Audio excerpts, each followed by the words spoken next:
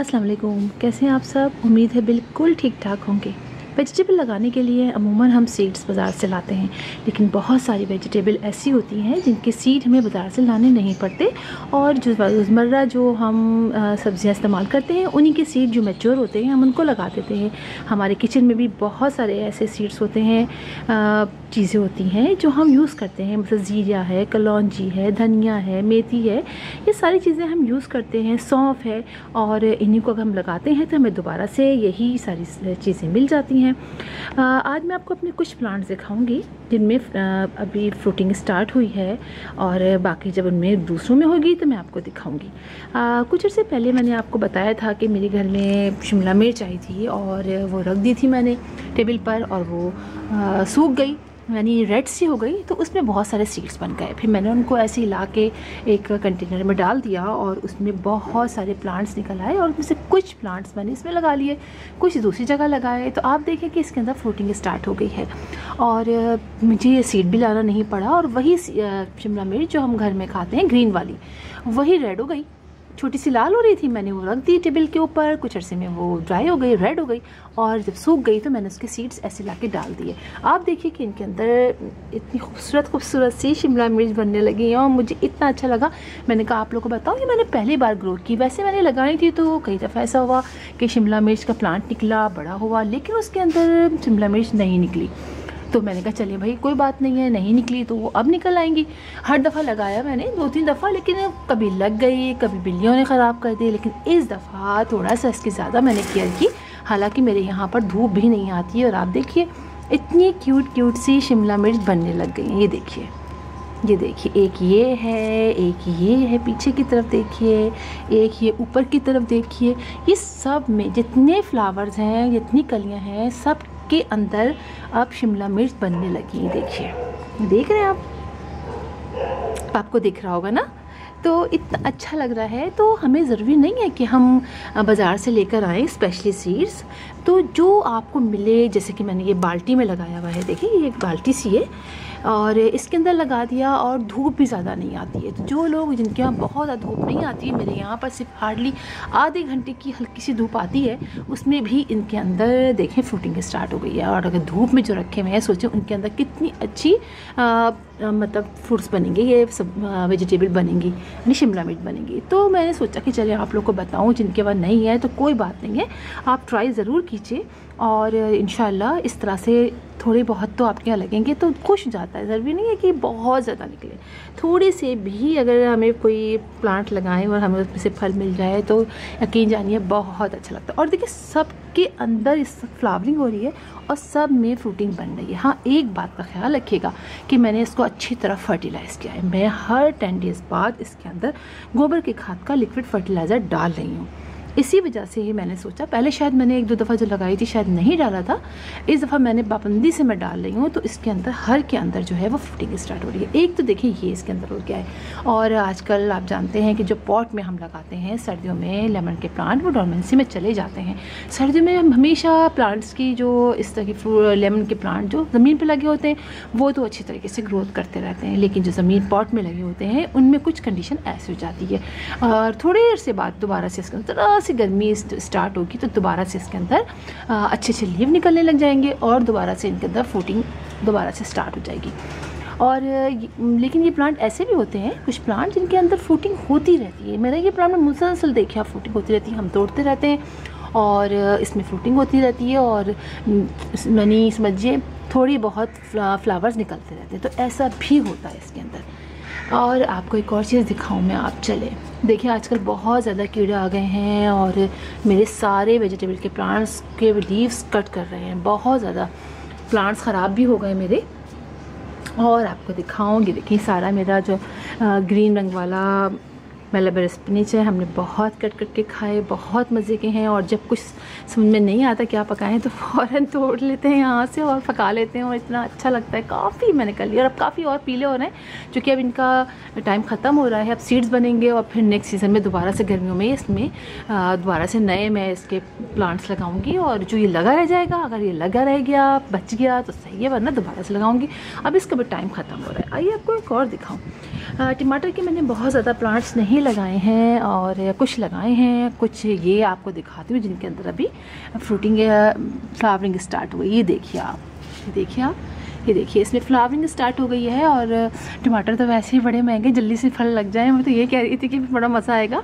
और काफ़ी मतलब इसमें पीछे की तरफ़ भी फ्लावरिंग हो रही है और अभी यहाँ भी हल्के हल्के से। तो ज़्यादा नहीं लगाए मैंने। टाइम नहीं मिलता, जो थोड़े बहुत हैं तो मैं इसीलिए आप लोगों से सोचा, मैंने बताऊँ कि थोड़े बहुत तो लगा ही दीजिए आप लोग भी। बाज़ लोगों ने तो बहुत सारे लगाए हुए हैं। मुझे कमेंट भी करते हैं, माशाल्लाह से। और लीफ माइनर का भी मसला रहता है। देखिए, इनके अंदर लीफ माइनर का अटैक हो जाता है प्लांट्स के अंदर। ये बहुत ख़तरनाक होता है। हमारे सारे लीफ पे लग जाते हैं। और ये कितना ही कर लो, कुछ ना कुछ प्रॉब्लम्स प्लांट्स में होती रहती है। कोई बात नहीं है, ऐसा भी होता है। और आपको दिखाऊँ इसी तरीके से, और ये टमाटर लगाए ना, ये भी मेरे पास टमाटर ख़राब हो गया था तो मैंने इसमें ला के ऐसे डाल दिया। एक ख़राब सा हो गया था तो वो देखें, इससे प्लांट निकल आया और हमारा इससे अच्छा हो गया। और ये देखिए ये मैंने लगाया था, आप लोग को कहती हूँ कि जो आए, पुदीना आए, उसको आप पानी में डाल दीजिए, उसके बाद आप उसको लगा दीजिए तो आप ये देखिए कितना अच्छा लग गया। बाज़ लोग कह रहे थे कि नहीं, लगता ख़राब हो जाता है।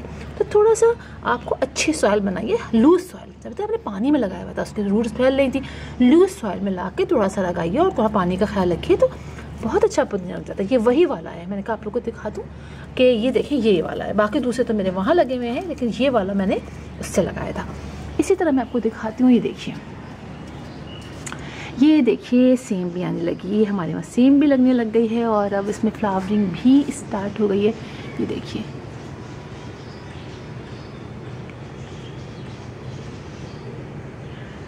और इनके अंदर फ्लावरिंग भी स्टार्ट हो गई है और ये सेम भी वही है कि हम घर में सेम लाए, एक सीम का सीड थोड़े मोटे से थे पके हुए भी नहीं थे।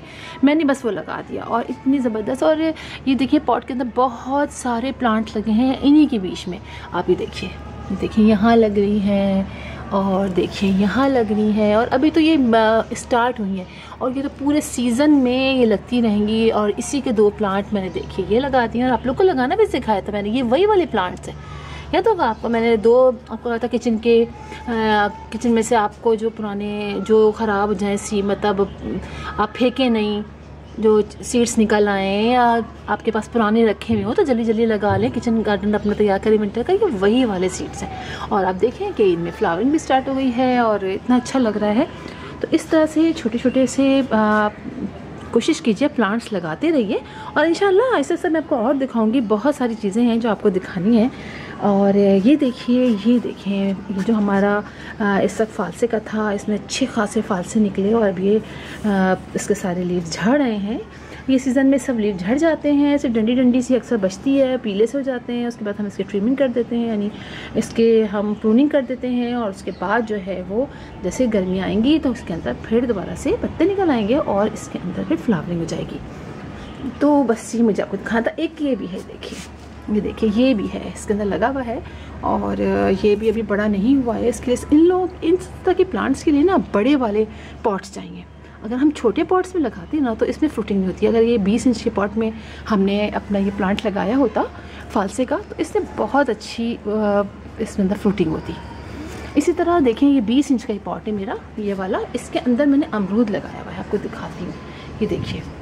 ये मैंने अमरूद लगाया हुआ है और ये अमरूद जो है, इसके अंदर बहुत अच्छी सा ग्रोथ हो रही है। अमरूद भी आए और अब इन लग रहा है मुझे कि इसमें और आएगी और इसके अंदर जो है ना, सरसों की खली का फर्टिलाइज़र बेस्ट होता है वेजिटेबल प्लांट इसके लिए।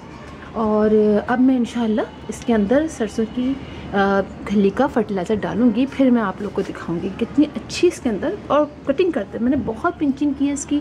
इस पिंचिंग करने के बाद ये अच्छा खासा बड़ा हो गया अब इन इसके अंदर और फ्रूटिंग होगी।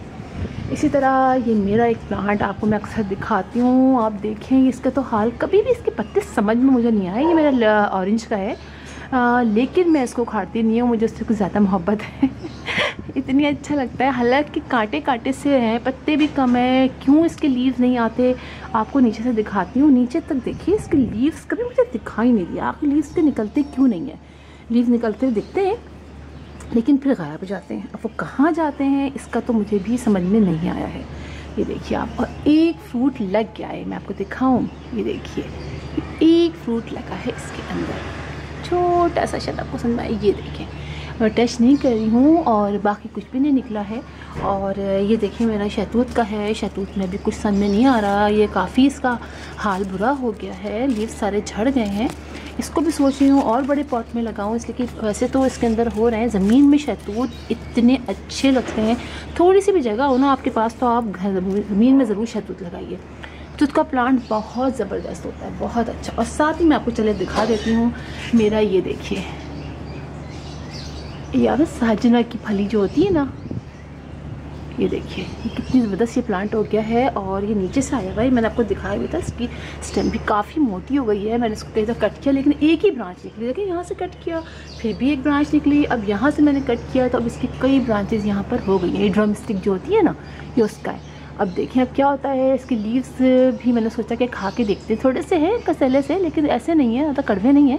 इन मैं इसको ट्राई करूँगी, दोबारा खा के देखूँगी। बड़े फ़वाद हैं इस प्लांट के, अगर आप लगाइए तो आप ज़रूर इसको यूज़ कीजिए। तो फिर इन आप लोगों से मुलाकात होगी किसी और वीडियो में, किसी और टॉपिक के साथ। तब तक के लिए अल्लाह हाफि